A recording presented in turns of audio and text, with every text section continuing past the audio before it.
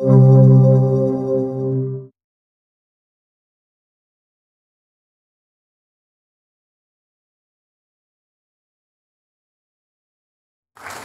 thank you all for being here, and it's a great uh, privilege and honor, and also challenge to follow Roger. So his talks are so interesting. I'm going to talk about some of the work that we've done together: uh, anesthesia, consciousness, Bohm and Penrose. Now, both David Bohm and Roger Penrose have uh, invoked uh, quantum, quantum effects in consciousness. David Bohm by equating more or less the mental and physical to his implicate and explicate orders and uh, also describing conscious thought as distributed and non local. And of course, Roger has invoked uh, objective reduction as a solution to the measurement problem in causing, uh, resulting in consciousness rather than consciousness causing collapse, 180 degrees uh, differently. And in the background of this slide, you see a neuron with uh, the uh, yellow of the microtubules that I'll be talking about. And most views of the brain look at neurons strictly from the surface. All this money for brain mapping is looking just at surface. Uh, it's kind of like looking at all of medicine through dermatology, and I think that's a big mistake. So we're going to uh, go inside the neuron a little bit. But first ask, uh, what is consciousness? And we take it for granted that when we uh, open our eyes, um, uh, the world out there appears inside our heads uh, being, if you will. And being during this talk will, will mean having subjective conscious experience. And it's approached through various uh, modalities neuroscientists, uh, neuroscience, artificial intelligence, art, aesthetics, uh, physics, uh, Schrodinger's cat, psychiatry, anesthesia, and that looks a little bit like me. And I'm going to talk about anesthesia as a tool to understand consciousness, meditation, and philosophy. But let's, let's talk a little bit about anesthesia. It's what I've been doing uh, to earn my living for 43 years. And I wrote a chapter in uh, this book at the Millennium on the greatest invention, supposedly, of the past uh, uh 2,000 years. And anesthesia is first, alphabetically at least. And when you think about it, it's a great, it's a great thing because imagine if we didn't have it and you broke your leg or burst your appendix, things would be a lot different. Your outlook would be a lot different. Um, so what do we know about anesthesia and what can, what can it tell us about consciousness? Because under, under anesthesia, the brain is still active. What's gone is consciousness. The brain is still active. We use evoke, we use evoke potentials to uh, look at spine integrity and so forth. So um, in the 1900s, uh, uh, some gases were discovered which at low concentration uh, caused uh, euphoria and giddiness. And here we see laughing gas, uh, living made easy. And this is politically very incorrect. Uh, prescriptions for scolding wives. Just give them some uh, nitrous oxide. And uh, subsequently, ether was used for ether frolics. Um, but at higher concentrations, subjects became unconscious. And uh, if you didn't go too far, they kept on breathing and, and woke up when you, when you removed it. And this was used uh, for surgery under anesthesia. And this is the first successful anesthesia in, at the Mass General in Boston. Now, uh, in the 19th century, it was discovered that uh, breathing certain gases, and we're all breathing gases right now, uh, uh roughly 80% uh, nitrogen, 20% uh, oxygen, then a, a, mixture, a small mixture of a bunch of other gases. And they found these other gases that uh, when mixed with air or oxygen, you still need oxygen, uh, immobilized or anesthetized all animals studied. Mammals, amphibians, insects, fish, worms, even plants can be anesthetized. And strangely, the gases varied tremendously in chemical structure and included ethers, halogenated hydrocarbons, nitrous oxide, and the inert element xenon, which isn't shown here.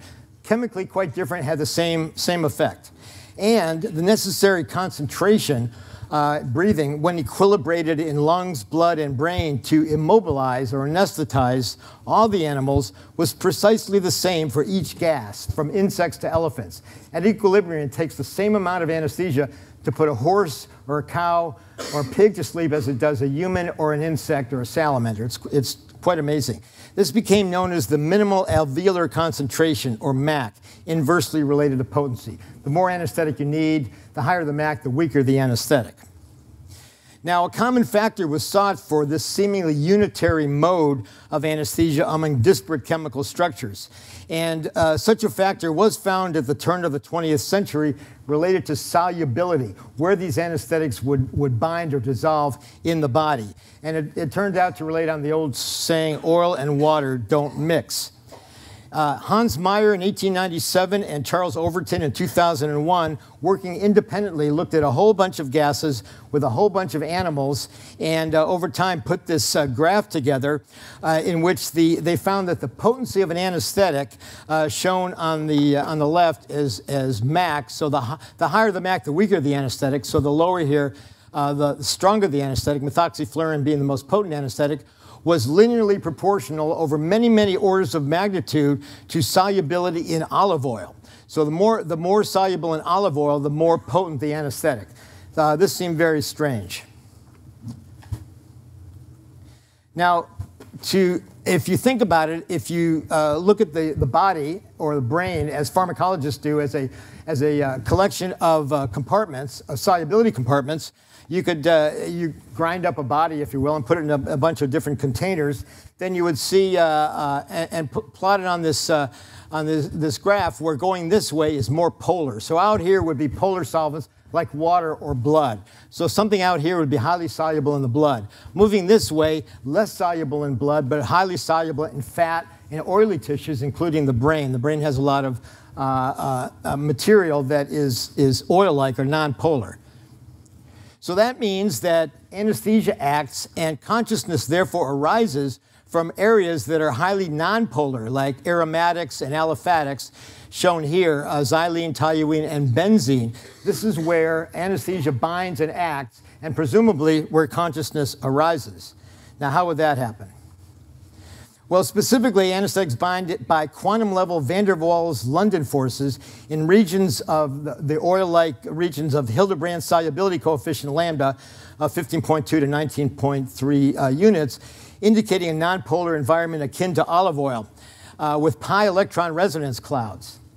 Now, pi resonance rings, this is the uh, uh, familiar six sided carbon ring, the basis for organic chemistry. We're made of these kinds of rings uh, life is dependent on these kinds of, of rings with, with three extra electron, uh, uh, which aren't shown here, but they form these electron clouds, resonance clouds, called pi resonance above and below the ring.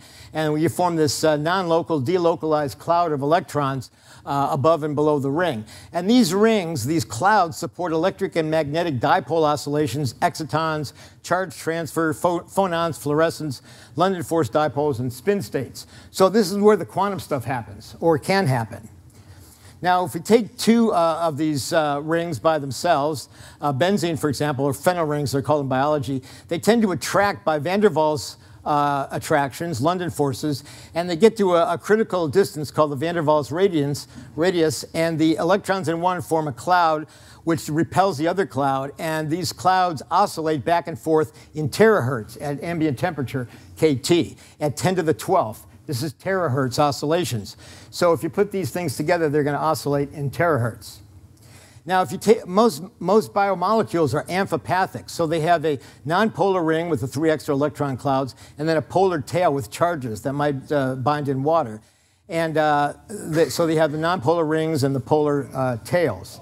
And they tend to uh, coalesce. Oil and water don't mix, and the, the nonpolar rings stick together and form, by van der Waals forces and form kind of a delocalized uh, region or a region of uh, delocalized electron clouds uh, that are called micelles. And, uh, and, with the polar sticking out to be soluble in water. And Oparin, back in the 1920s, I believe, called these micelles as a first form of cells. And this may have been how biological systems formed. And proteins fold in this way. They have a nonpolar region inside that, uh, that's oil-like and a polar region on the outside. Also, lipid bilayers, membranes, have the uh, very similar with the nonpolar uh, regions in the middle and the polar tail sticking outside the cell and inside the cell. And nucleic acids, DNA and RNA, the same thing with a pi stack, where the, the purines and pyrimides line up. So lipids, uh, uh lipid membranes, nucleic acids, proteins all have this nonpolar interior conducive to quantum effects on the interior, which means that a quantum underground underlies biomolecules and living states in general, since all the major biomolecules have this inside. So the mystery of quantum biology may be solved by the fact that it, it's happening in, deep inside the cells where it's hard to probe uh, and away from polar charges that might cause uh, decoherence.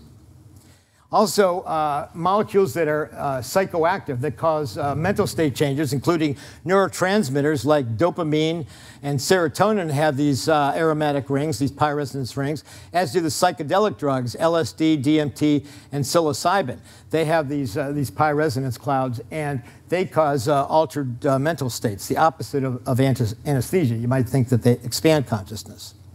So then the question is in which biomolecules and cell structures do anesthetics act?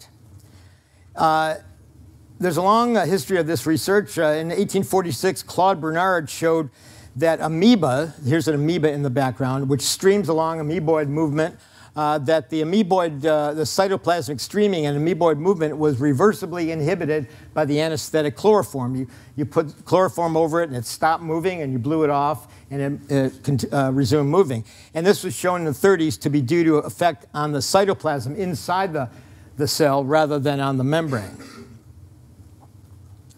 Uh, in uh, 1968, uh, Allison and Nunn, John Nunn from, uh, from the UK, uh, uh, tested effects of anesthetics on microtubules using this, this organism, Actinosphaerium, which has all these spiky things coming out, axonemes. And if you cross cut uh, one of them, you see that they're made of these double helical arrays of microtubules. I'll tell you a little bit more about microtubules sub subsequently. And they found that in the presence of halothane, that these axonemes disappeared, they dissolved, they depolymerized, the microtubules disassembled. And they published in Lancet that anesthesia was due to depolymerization of microtubules. Uh, however, and fortunately, uh, that occurs at about five times the amount of anesthetic required to put uh, anyone or any animal to sleep, five MACs.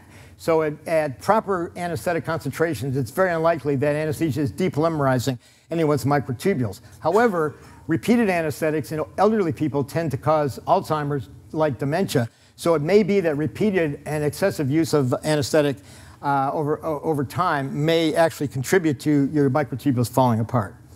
So take care of your microtubules. Now, how did, uh, so that was not accepted as a theory of, of anesthesia, but uh, uh, in, the, in the, most of the 20th century, people realized that the membranes were, uh, were excitable, and, uh, and, they thought, and since anesthetics were uh, lipid soluble, they, it was assumed that anesthetics get into the lipid phase and, and block excitability of membranes. But then it was realized that, that proteins are responsible for the excitability of, of membranes. Uh, and Jim Trudell, among others, tried to rescue the lipid uh, hypothesis by saying anesthetics act in the lipid phase and prevented ion channels from opening and closing. Well, that turned out to be wrong also because those effects could be mimicked by a slight temperature change.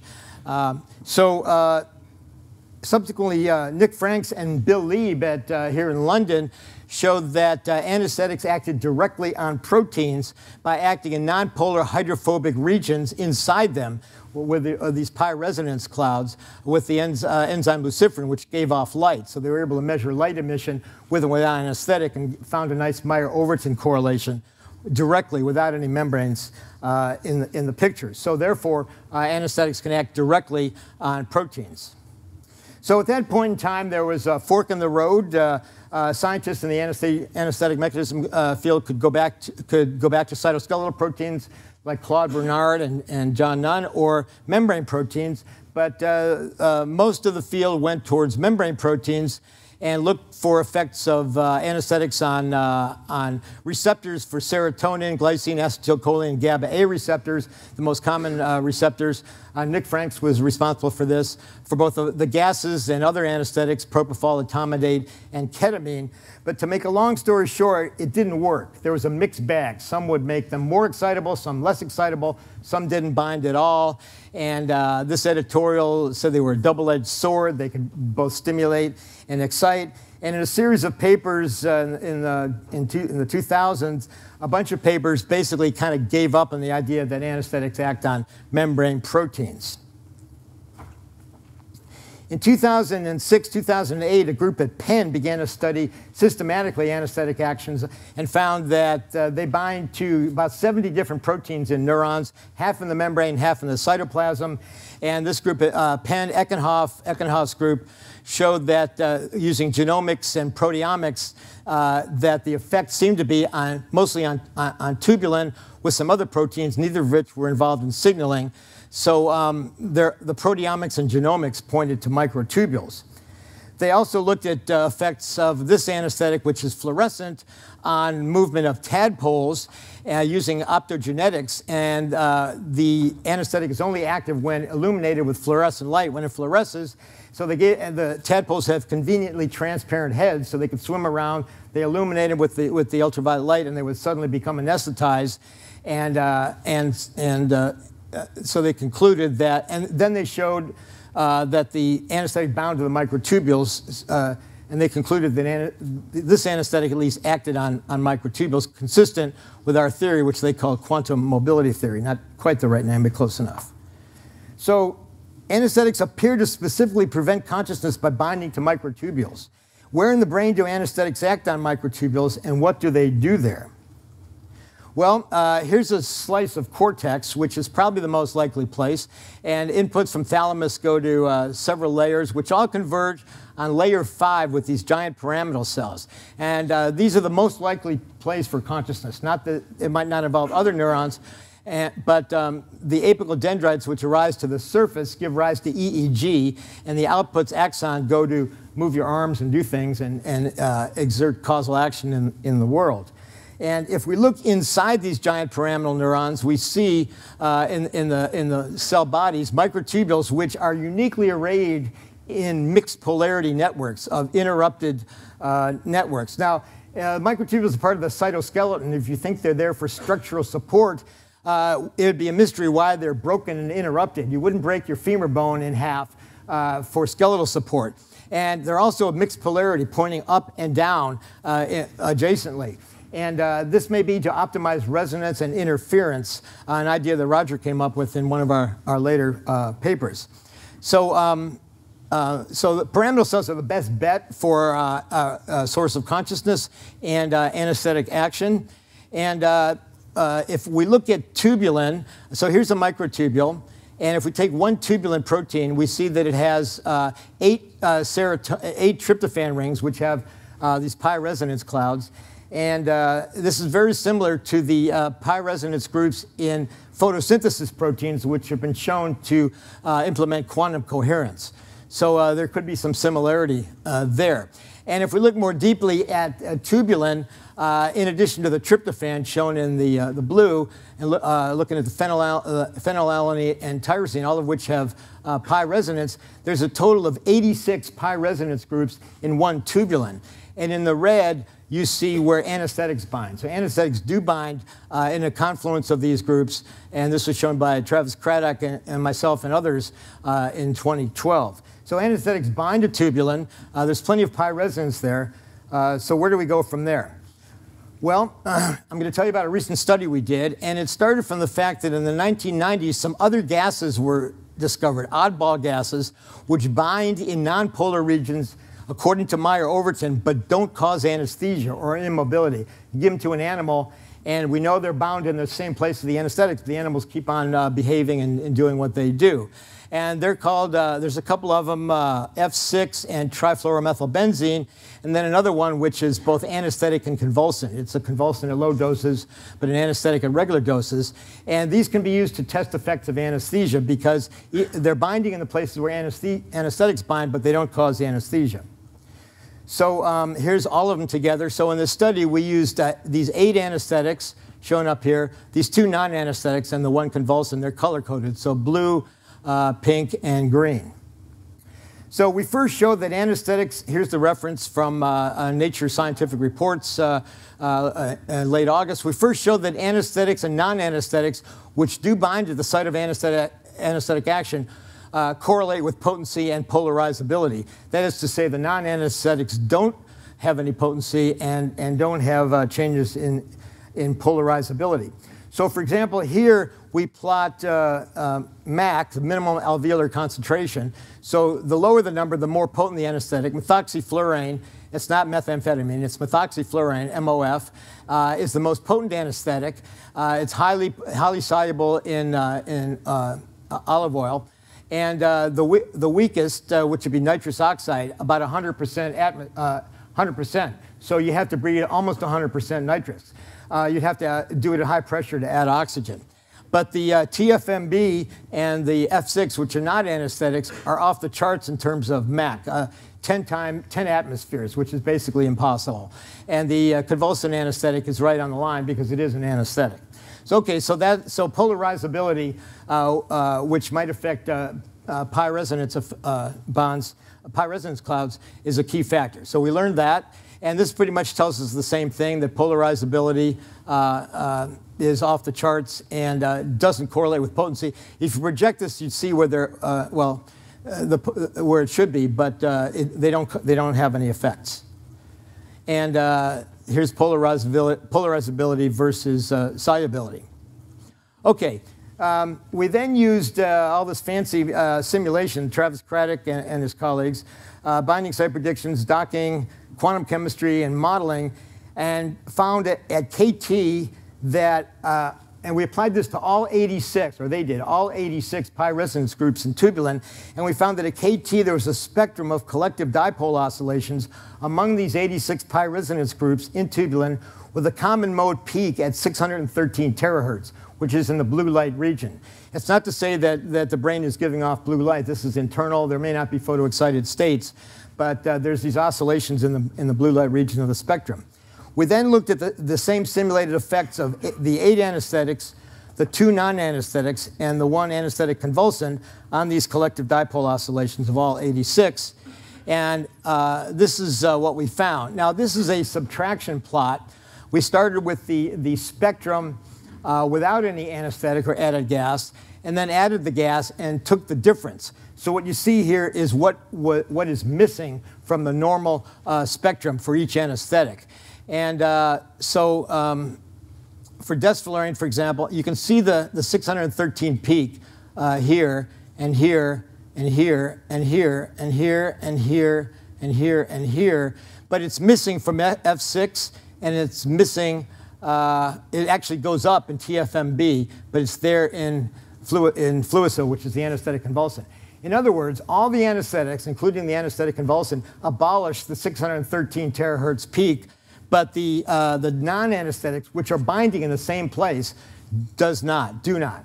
Therefore, this uh, 613 terahertz peak must be important for consciousness, and it goes away with anesthesia. And here's another way to look at that, that uh, if you look at, at MAC, that the, these things are, are, way over there. And th this looks at the frequency shift of the 613 uh, terahertz. So basically, anesthetics take it away, and uh, and the non-anesthetics do not, despite them being in the same place. So anesthetic action on consciousness correlates with dampening of terahertz oscillations in tubulin, subunit of microtubules. So what does that tell us? So here's the kind of the, the kind of the big picture that we have. Because um, oh, um, as Max Tegmark pointed out yesterday, we don't operate at uh, 10 to the minus at 10 to the 21st hertz, or 10 to the minus 21 seconds. Um, however, we do operate, I think, at 10 to the 12th hertz here, even though electrophysiology is down here in hertz and, and maybe 100 hertz. But what happens, uh, so here's the terahertz oscillations in the, in the pi resonance dipoles in tubulin. So let's start here. We have a pyramidal cell. We take one microtubule, and then we take a row of microtubules. We have these collective dipoles across these, uh, this row of uh, tubulins, which, by the way, follow the Fibonacci geometry around the microtubule and we and uh, and then we get down to the individual dipoles, and the anesthetic blocks these dipole oscillations. So that's the point. The anesthetics block the terahertz oscillations down at the nitty gritty level of, of 10 to the uh, 12th hertz, and that slows everything else down, going uh, upwards in scale and faster. So we, we think that there's a, uh, this kind of ca- hierarchical cas- frequency cascade, which to me is more like music than computation, with interference beats uh, uh, occurring at, at various uh, uh, frequency levels. And in fact, in our recent paper, uh, Roger came up with the idea that interference beats may give rise to EEG.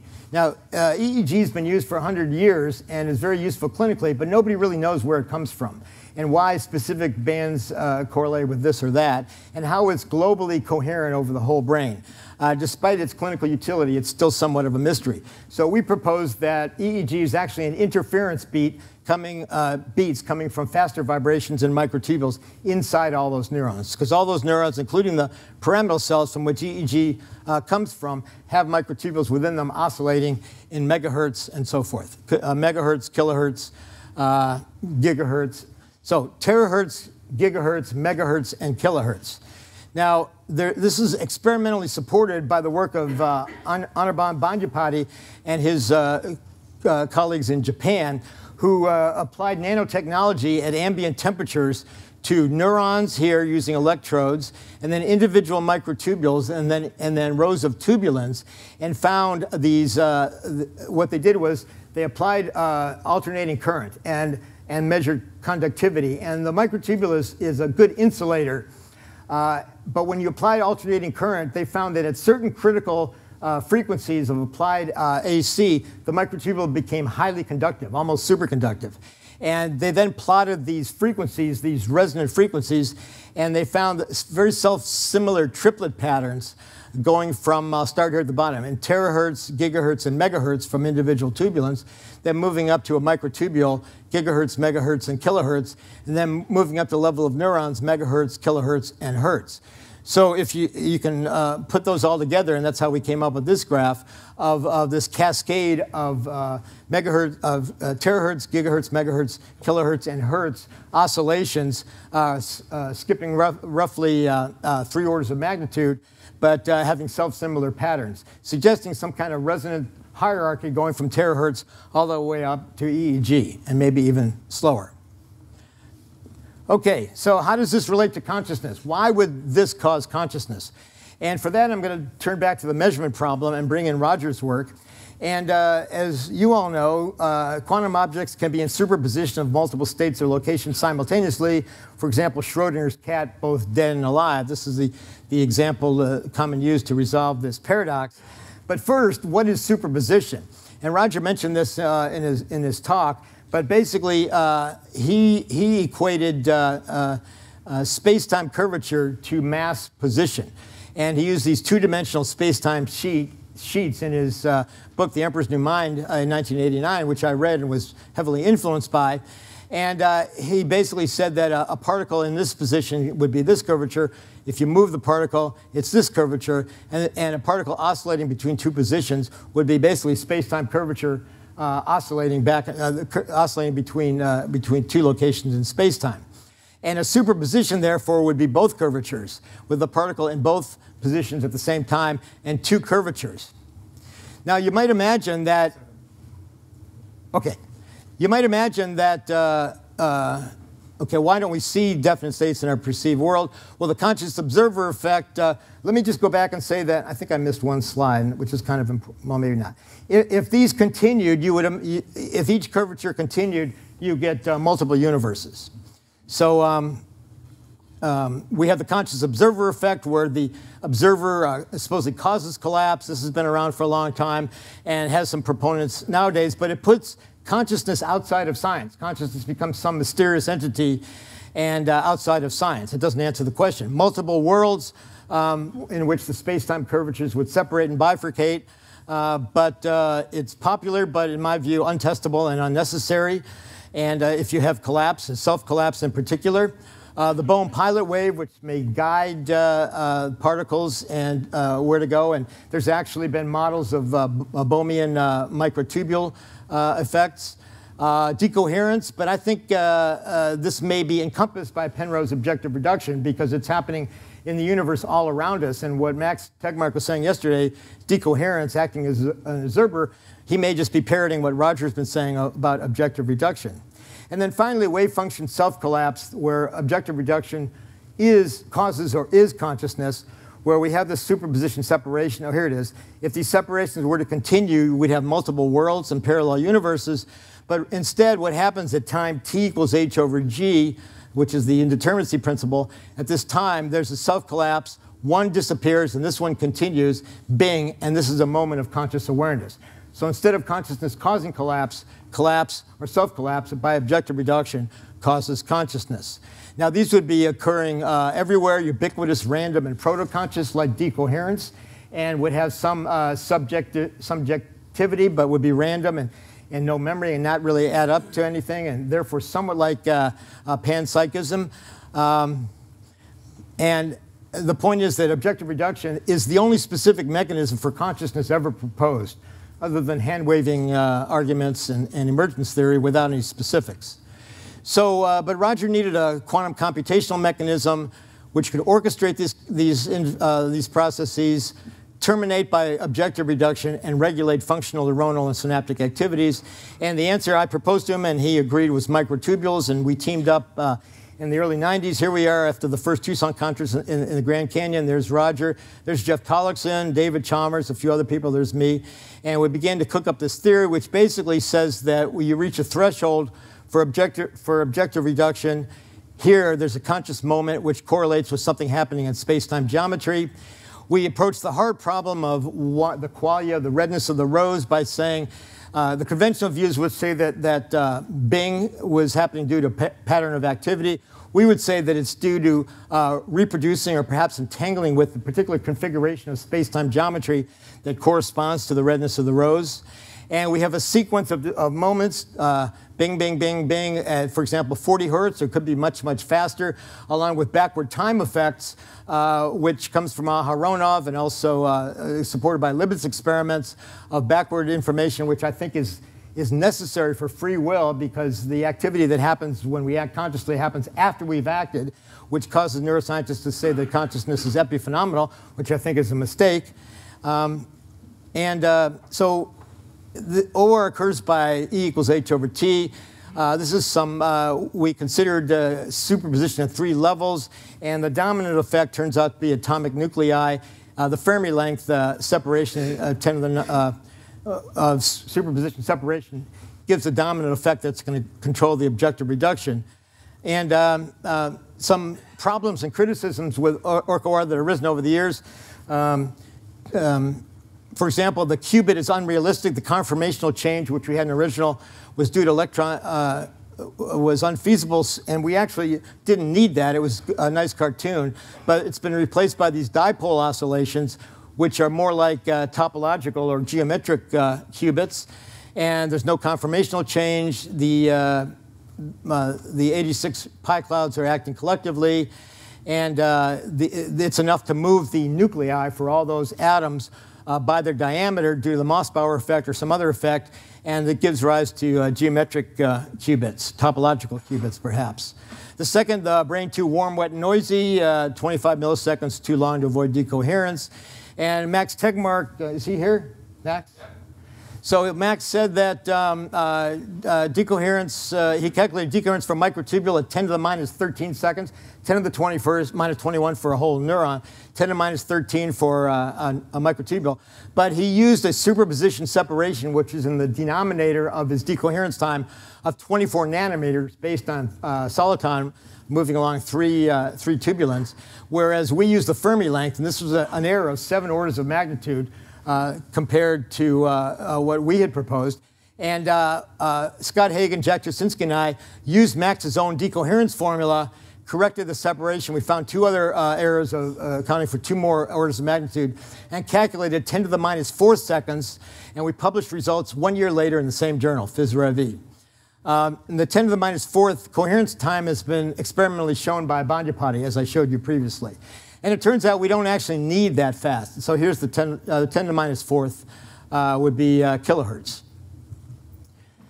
So it turns out we don't need that fast because if, if uh, Orch-OR is happening here, um, which would give too few uh, neurons, uh, in our 2014 paper, we suggested Orch-OR could occur at, for example, 10 megahertz, and that interference slightly different could, could, could give rise to slower beat frequency. So we only really need uh, terahertz or maybe uh, megahertz, maybe even terahertz, which we already know happens. And uh, this would require a lot more tubulins, and which makes a lot more sense. 10 of the six neurons, uh, which is predicted by other models. And then altered states, for example, the, the pi resonance uh, groups of the psychedelics and so forth might increase the frequency and push, push, uh, push it the other way. So we'd be, be the opposite of anesthesia, so we have enhanced consciousness. So in conclusion, Um, in uh, 1998, uh, we wrote uh, uh, 20 testable predictions, which were reviewed in 2014. Six have been validated, none refuted. Um, experimental evidence uh, um, supports Orch-OR from anesthesia and quantum vibrations. Uh, Meyer-Overton quantum underground pervades living systems, and uh, life may be intrinsically a quantum, quantum biological effect at its root.